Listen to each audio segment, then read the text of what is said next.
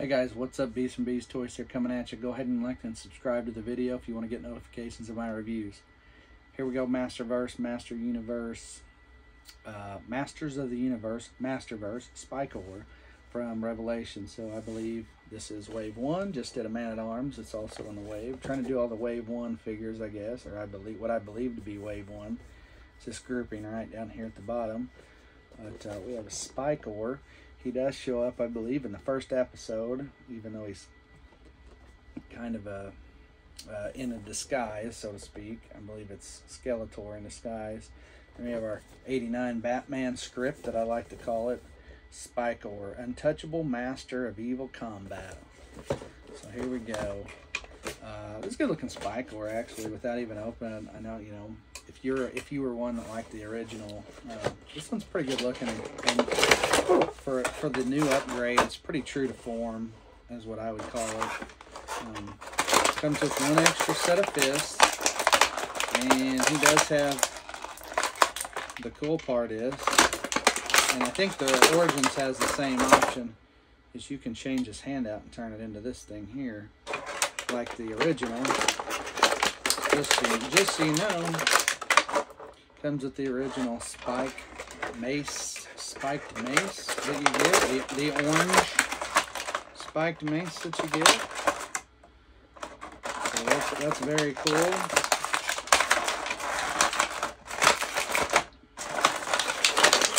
I always hate trying to pull these out with this plastic parts that hold them in. But I really like to cut them when I can. But I don't like don't want to cut my figure or scratch figure up. Kind of a, kind of a pain, and it's loud. I like the loud. All right, well, there's that. So plastic in that box over there. Um, oh boy. Oh, thank goodness. All right, so I knocked this fist off. So, I was in that his isn't terrible, but I noticing I've said this in a couple videos I've already done. I haven't done a ton of these yet, but some of the uh,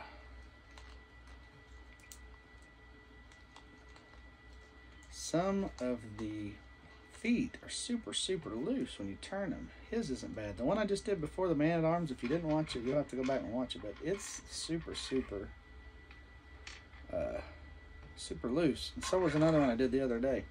Anyway, so here he is. And again, he's a lot like your original, um, with, you know, obviously new modifications to look uh, a little different, but uh, he's pretty cool nonetheless. If you, like I said, if you liked Spikor from the original, um, so he comes with two extra fists. You to punch someone's lights out. Uh, we can we can put this, and what we can do. The cool part is you can put it, put this in whichever hand you want. So I think in the Origins, the original his goes on his right hand, or the original, excuse me, because the Origins I believe can be actually you can put that I think you can I think it comes with an extra hand. You can put it in whichever hand you want as well. So you can put this thing on, and then we can put this thing on, and we've got pretty nasty baddie, truthfully. So we'll have three extra hands when you come to the thinking about it. There. It's because you can do it. You can do it like this. So We'll straighten his legs out a little bit so we can stand him up upright. And there you go, guys. There's your Spikor. Uh, oh, well, I say that and I get ready to knock him over. Yeah, here we go. Sorry, I should hold him up closer to the camera. So really cool. Like I said, if you're if you're a fan of the Origins, the original version, he's very much so like that. So that's a that's a good thing like I said, with a modern flair and a, and a tall, taller figure.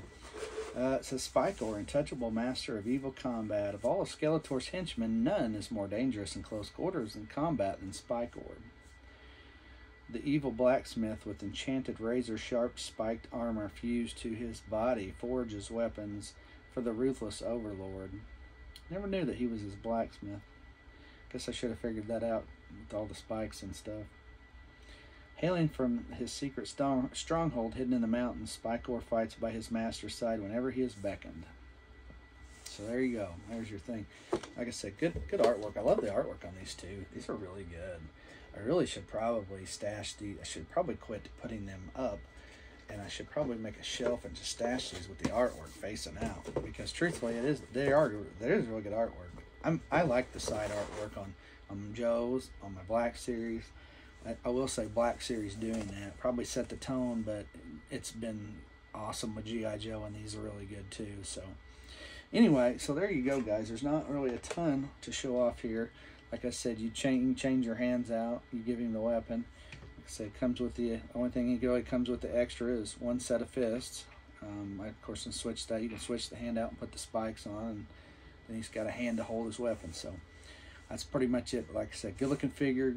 Like I said, good, good, good look to look kind of similar to the original with the new flare. So very cool. And if you haven't had watched the show, I keep saying go watch it. Um, I, I I'm in groups, and I read a little bit here and there when I can, off and on throughout the day, or I'll you know take a minute and read some posts if I scroll by one, and you know I'll read some comments. I actually came across one today. I'll say this real quick, talking about the Revelations and the Revolution series, and today the one I saw was pretty negative. But most of the time I read, everyone says they like the show. Um, you know, and I think the biggest negative's been the the lack of episodes. Like they're short, they're not very long. Um, but I will say I think they do a good job incorporating guys that you barely saw in the first in the original, and uh, give them a chance to be on screen for a few minutes or a minute or two at a time. But at any rate, just saying. Oh, Stinkor. Stinkor's the other one I had that was really loose foot. Made me think of that because I talked about that in the video too. Stinkor got a minute or so on TV in his in one episode. So anyway, we'll go good with Stinkor good uh, good pairing. Actually, I think they came out in the original line pretty close to each other. So anyway, but uh, but anyway, I highly suggest watching if you haven't watched it. Go check it out. It's a good series. It's on Netflix. If you don't have Netflix, find a friend that does and go watch it at their house. But uh, at any rate, uh, thanks for watching, guys. Go ahead and hit that like and subscribe button if you can. And uh, as always, with Spikor, I'm Beast from Beast Toys. We'll see you.